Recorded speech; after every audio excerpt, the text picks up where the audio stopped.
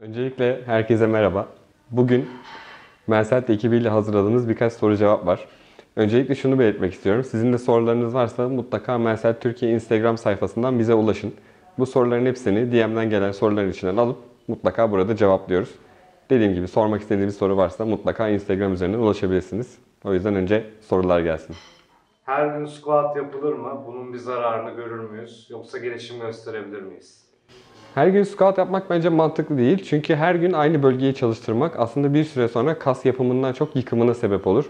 Aynı bölgeye daha çok zarar vermiş oluruz. O yüzden çalıştıracağımız bölgeler arasında mutlaka 24 saatten biraz daha fazla ara vermemiz bizim için önemli. Bu 48 saate kadar çıkan bir dinlenme süresi olması bizim için daha muhteşem sonuçlar yaratır. Haftada 5-6 gün, belki de 7 gün full body antrenmanlar yaparak kas kütlesinde büyüme sağlayabilir miyiz?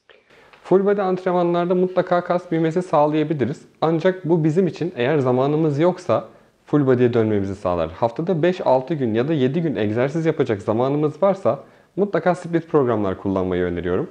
Böylece çalıştırdığımız bölgelerinde dinlenmesini sağlayacak bir metot yaratmış olacağız.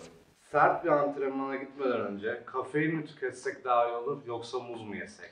Şimdi ikisinin de birbirinden çok farkı var aslında. Ama ben her zaman kafein taraftarıyım. Çünkü en azından ben sabah uyanır uyanmaz kahvesini içenlerdenim. O yüzden de antrenmana gitmeden önce biraz daha enerjiyi toparlamak için kafein diyorum. Ama daha etkili bir antrenman için yarım muzla kafein aynı anda gelirse bence muhteşem sonuçlar yaratır. Antrenmanlarda maksimum verim sağlamak adına tam hareket açıklığıyla mı çalışma taraftarısınız yoksa pump etkisi yapmak için yarım hareket açıklığında sıkıştırmalar mı? Ben sıkıştırmaları çok tercih etmiyorum açıkçası. Çünkü literatürde range of motion dediğimiz yani hareket açıklığı kısmı bizim için aslında hareketin en doğru olan kısmı.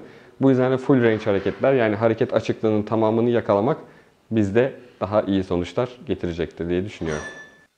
Barfix her ne kadar etkili bir egzersiz olsa da aynı zamanda yorucu bir egzersiz. Bu nedenle sırt antrenmanlarına barfix ile başlamak antrenmanın da sonlara doğru zorlanmamıza neden olur mu? Açıkçası ben kendi sırt antrenmanlarımda mutlaka barfix ile başlamayı tercih ediyorum.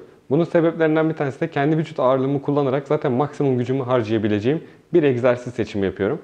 Kimilerine göre bu gücü tüketmek olabilir ama bana göre daha güzel bir başlangıç olarak düşünüyorum. Yağ yakmak isteyenler veya definasyon çalışmalarında olanlar akşam 7'den sonra yemek yiyebilir mi? Genel olarak yağ yakımını en çok destekleyen diyetlerden bir tanesi bu dönemlerde keto fasting diyeti. Ee, bu da aralıklı oruç sistemi oluyor. Aralıklı oruç sistemiyle hem de aynı zamanda ketojenik beslenmeyle vücudun yağ yakımı işlemini daha da fazlalaştırıyoruz ve böylece enerji sistemini tamamen yağlardan kullanıyoruz. Eğer böyle bir diyet uyguluyorsanız ortalama olarak 16 saat aç kalmanız gerekiyor. Bunun için de zaten akşam ortalama 7'den sonra hiçbir şey yememeniz gerekiyor. Ayrıca keto fasting ile ilgili size de çok yakında bir sürprizimiz var. Mensel kanalını izlemeye devam edin. TRX egzersizleri yaparak omurga rahatsızlıklarından kurtulunabilir mi? Omurga rahatsızlıkları ile ilgili en önemli söyleyeceğim şeylerden bir tanesi egzersizin her çeşidiyle bundan kurtulunabilir. Önemli olan doğru açılarda ve doğru zorlamaları yapmak. Omurgaya zarar verici bir egzersizden yapmaktan kaçınırsanız o zaman mutlaka omurga sağlığını korumaya devam edebilirsiniz. Hızını arttırmak, daha iyi deparlar atmak isteyenler basit olarak hangi egzersizleri yapabilir? Şöyle ki çabukluğunu arttırmak yani koşu gücünü arttırmak isteyen insanların çabukluk egzersizleri yapmaları gerekiyor. Ee, bunlar için aslında yerde kullanılan çabukluk merdiveni egzersizleri bizim için en önemli egzersizlerden bir tanesi.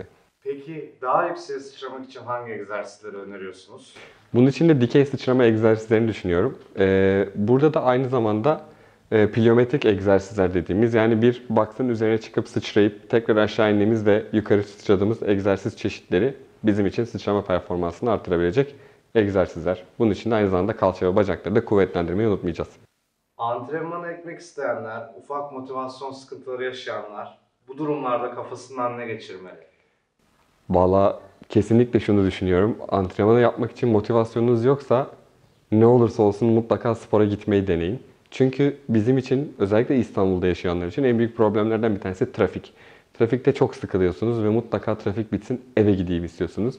Ama spor salonuna gittiğinizde hepiniz mutlaka şunu hatırlıyorsunuzdur. Koşu bandında ısınmanız bittikten sonra iyi ki gelmişim diye düşündüğünüz bir sonuç olacak.